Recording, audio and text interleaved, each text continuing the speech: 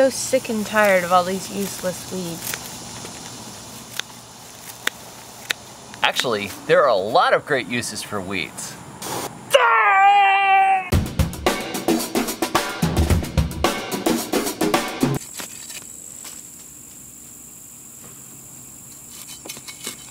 Gardeners hate weeds. And for good reason. Weeds will make your flower bed look ugly. Weeds will get in the cracks in your sidewalk and in your patio and make that look ugly. Weeds will get into your garden and compete for resources with the plants you want to grow. But if you change your thinking a little bit, you realize this is actually a resource. We can turn these weeds into fertilizer. I've got seven ways to turn weeds into fertilizer, baby. Seven ways to turn weeds into fertilizer, fertilizer, baby.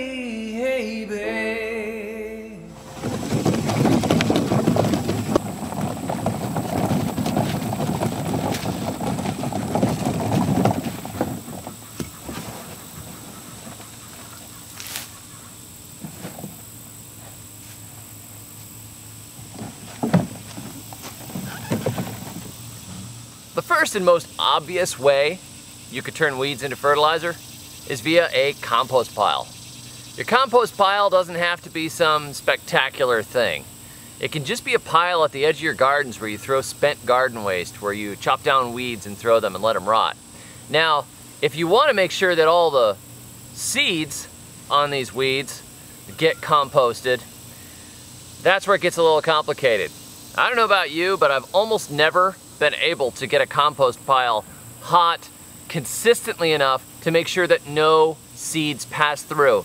No matter what happens, I always seem to have the occasional pumpkin or tomato coming up in my garden after I've composted. So if you have super seedy weeds, composting is probably not the best way to do it.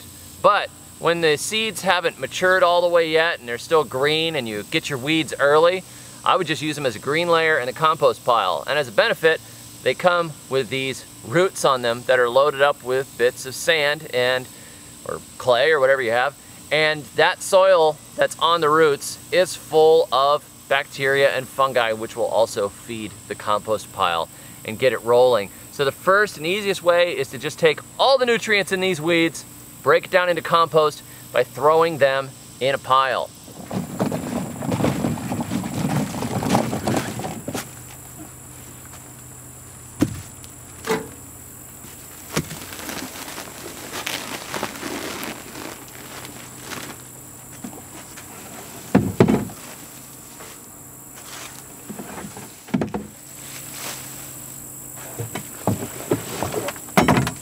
Next thing you can do is feed the weeds to your worms.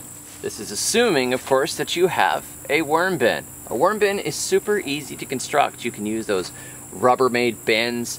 I've done that and had them indoors.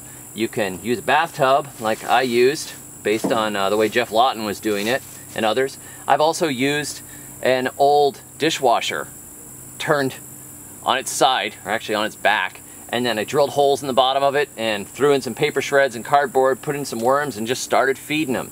But the worms will break this down into compost and the quality of the compost you get is super high. Worm castings are loaded with beneficial bacteria, great for your garden. Plus, you get the benefit of the leachate that comes out of the bottom of this tub and that's a liquid fertilizer. So as it rains and as stuff rots down and the water passes through, I'm getting the leachate from the bottom, which I can use in my gardens right away, but I'm also slowly getting worm castings. And when I harvest the worm castings, then I've got super high grade fertilizer made from the enemies of my garden. It is hard to beat that.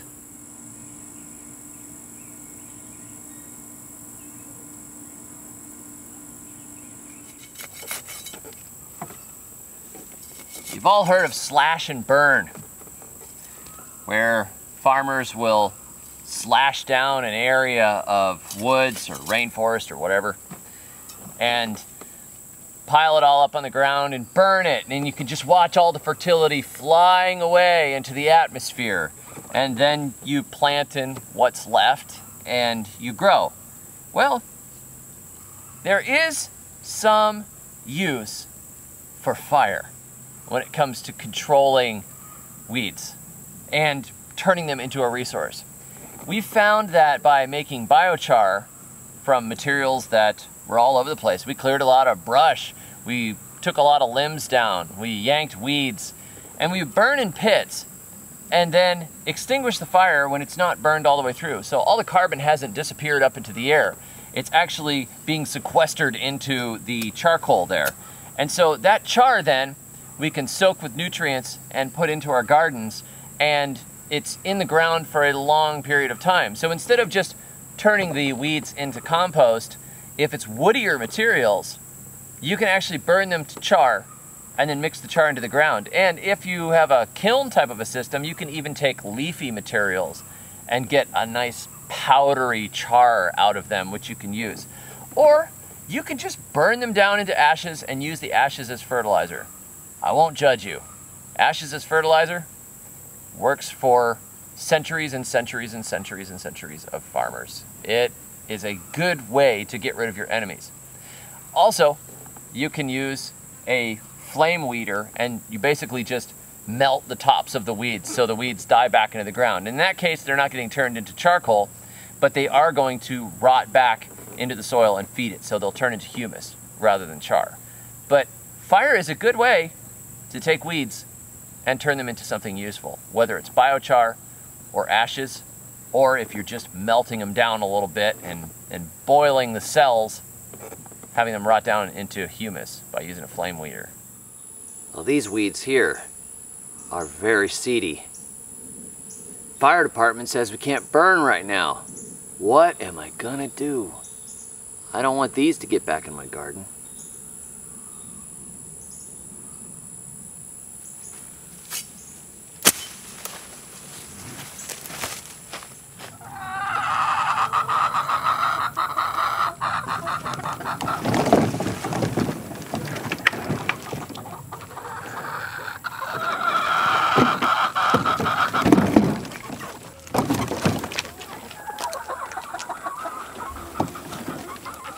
Here, chicken. Here, birds. Here, have these things, birds. When you feed weeds to your chickens, the weeds are turned right into resources. And not just eggs or meat, you actually get great compost out of the chicken coop, which I have shown you guys before.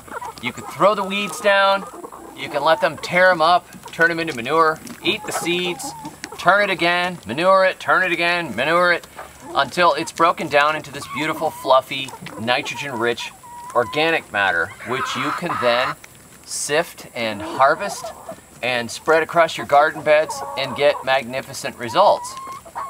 And of course, you can't forget the eggs. You're just taking weeds and turning them into something very useful.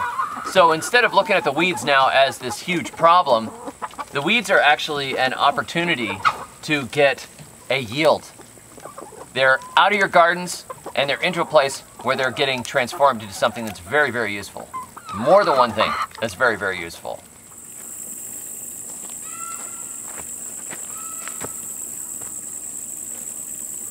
Believe it or not, there is a seedling peach hiding in here that I planted much earlier in the year. And unfortunately, the weeds have surrounded it and made a terrible mess. So I have to actually find this peach. So in this case, instead of turning around and taking these off to the worm bin or the compost pile or the chickens or whatever, I am going to directly take the plants that are consuming this peach and feed them to it. These weeds are going chop and drop right down on the ground.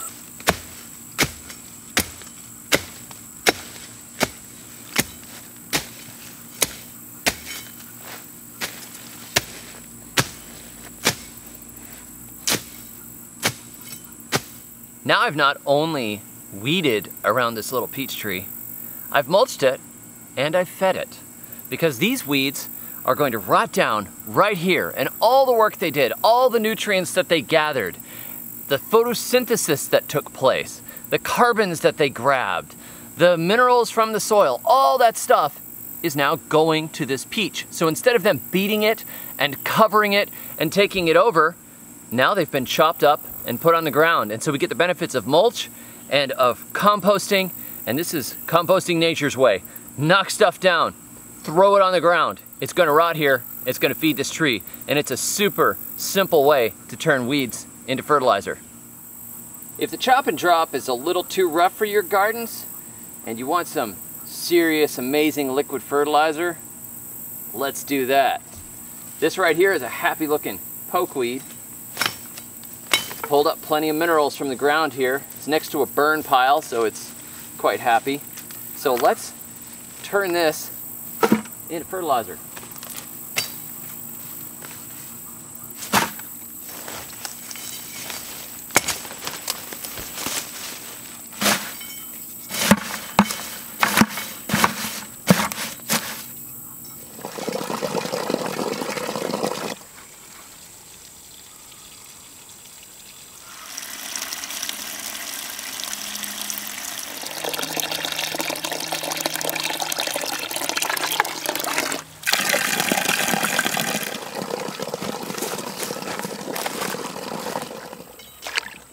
Now all you need to do is let these weeds rot down for a couple of weeks. It's usually about how long it takes, especially in summer. It might take longer if the weather's cold, but this will rot down and the nutrients that are in these weeds will then be transferred to the water so you have a liquid fertilizer and then you can go around and water your plants with it, water your trees with it, water your flowers with it.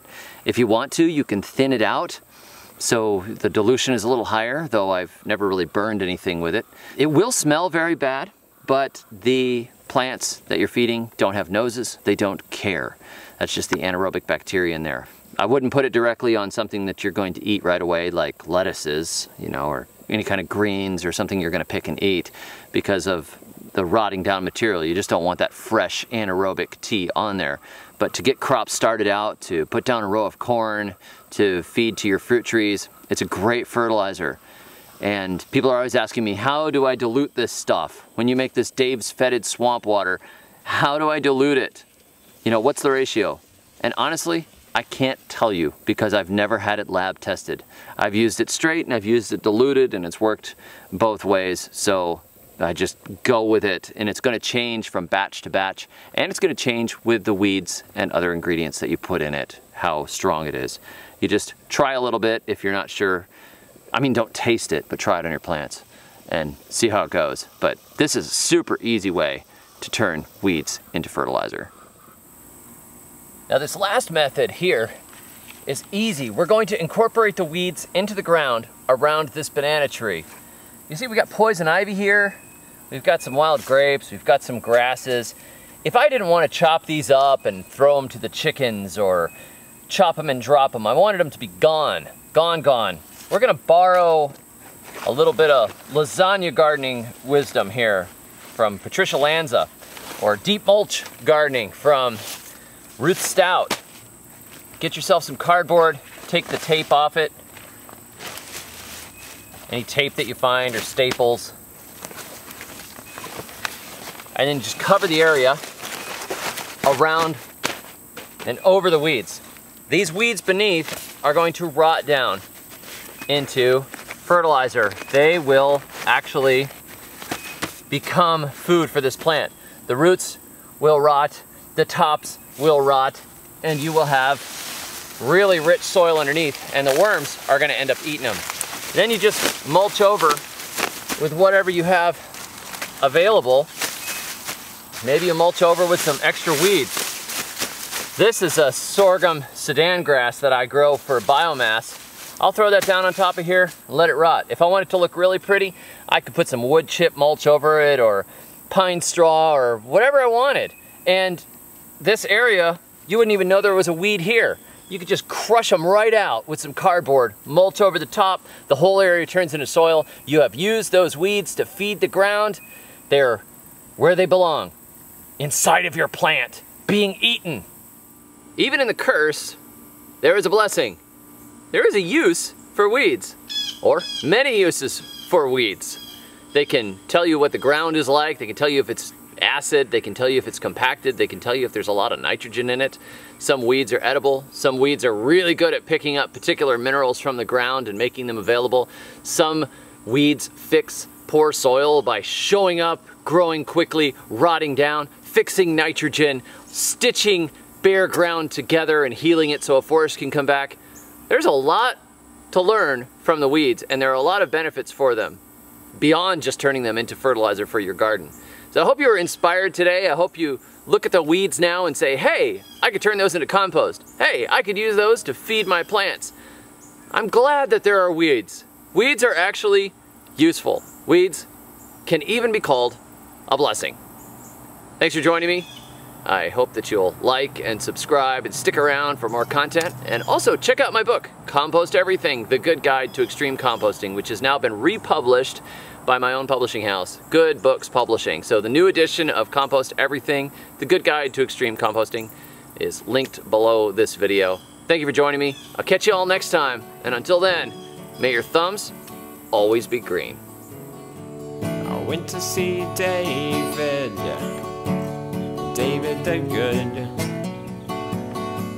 We listen to Portishead and drink spiced rum.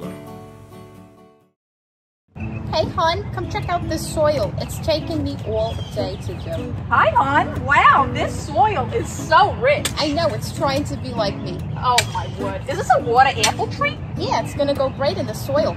Wow, it's really gonna take off here. What's in the soil anyways?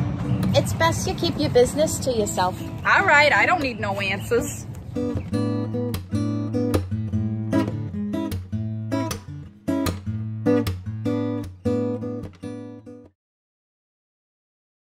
Man, I wish there was something useful I could do with all these weeds. Actually, there's a lot of use for weeds.